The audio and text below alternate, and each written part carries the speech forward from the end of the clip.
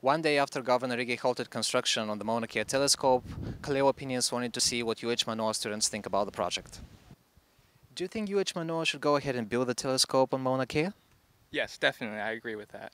Mm-hmm. Um, I feel that uh, that the telescope, you know, they help us observe space and find out all new information that we would never know.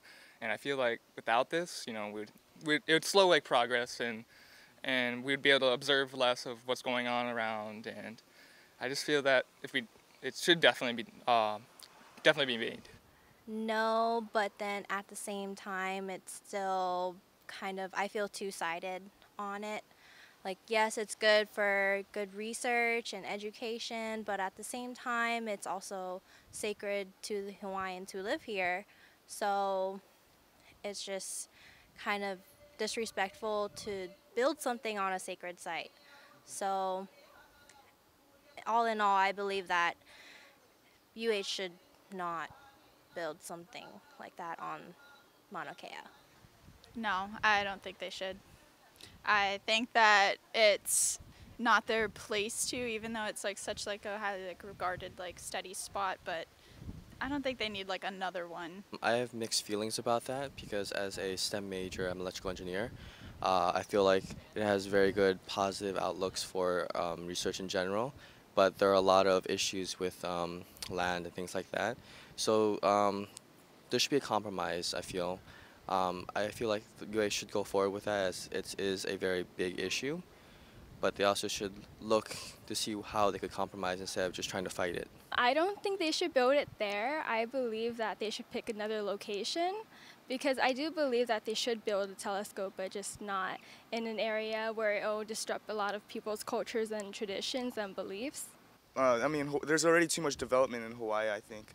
So, but I think that it doesn't need to be there. There's plenty other places in the world that it could be. Not having it on Mauna Kea might just make a better one ultimately.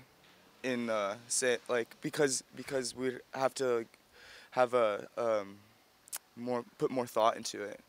No, um, I don't believe that UH should build a telescope or even like think about renewing the lease for it because for one, UH holds the motto of being a Hawaiian place of learning and that in itself um, goes against the telescopes, for example. Goes against what it means to be Hawaiian. I really don't think that UH should be doing that, and it's not even their land to, you know, to. Um, it's not their land to make that type of decision to, um, for the land belongs to the Hawaiians, to the people. So I think that the responsibility of the land should be held within the people and for the benefit of the community and the Hawaiians because the telescope, we're not the ones, you know, seeing it. Like we don't get any money from that, and it's not going to benefit us in any way. So, what if it does? For instance, what if it has people employed there? That's one in the construction, and other. What if people who are building the telescope help people find jobs in the STEM field, for instance, which is what they have been doing with the Akamai initiative? But okay, if they want to employ Hawaiians, I don't I don't see like any Hawaiians who would want to work for something like that, who would want to work and make a um, an income on something that goes against who it what it means to be a Hawaiian. You know, being Hawaiian is being sovereign to the land, respecting the aina and the kupuna and where you come from. Are you taking Native Hawaiian studies right now? Yes, I am. Based on your studies, do you think Native Hawaiians would have approved of a telescope that is exploring nature and the universe? I definitely agree. So, so they like from what I've learned in our class is that how you know nature and it's, it, how it's so important. It connects to everything.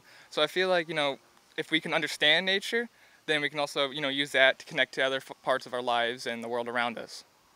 No, and like our kupuna, like our ancestors, like ancient Hawaiians, you know, they could they knew how to like do um, navigation like on flat surfaces. They knew all the heavens, all the stars without a telescope. So I don't really see the need for it, especially at home where we are. Looking at Hawaii from an uh, ancient Hawaiian's perspective, they'd be very upset with the overdevelopment what we've done to their land. But um, in regards to like astronomy, because I, I in my in my Hawaiian studies class, we they uh, Hawaiians were historically known for uh, navigations with the stars and stuff like that. And so I think it, it'd be like up for debate as well. I believe that they wouldn't because they were always, from what I've learned in Hawaiian studies, they were always very intelligent in the ways of how they navigated throughout the Pacific. And yeah, they're they didn't have the technology that they have like we have now, but at the same time, Hawaiians have their own traditions that need to be held as well. I think for ancient Hawaiians, I think that they would like to discover more, but I think that they would find another way to discover it instead of having to like destroy the land because land is very sacred to the Hawaiians. And like land is a thing that shouldn't be owned. It's something that like the humans are um, are in debt to. So like they have to. It's like their duty and their job to take care of the land. The past more so than now, uh, there are a lot of grudges that could be held. Um, and there's already been so much that has been taken. Before, if um, before I feel like if there wasn't the annexation, the government would, the Hawaiian government would have been much in much more approval of the situation. But with everything that's happened, um, they're just chipping and taking away more and more without really thinking of the consequences of what, what's happening. Can we consider the pursuit of knowledge sacred as well in science? Definitely. Knowledge is very sacred. Reporting for Ka Leo, Pavel Stankov.